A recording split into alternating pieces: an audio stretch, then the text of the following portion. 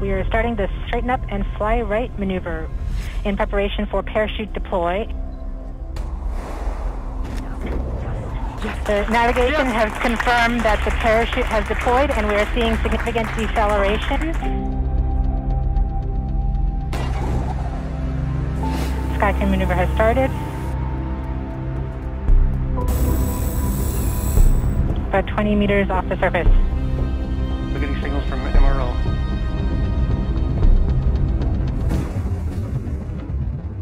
Touchdown confirmed. Perseverance safely on the surface of Mars, ready to begin seeking the sands of past life.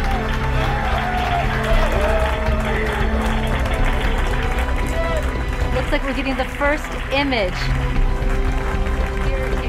This is the most amazing thing. This is what NASA does. This is what we can do as a country.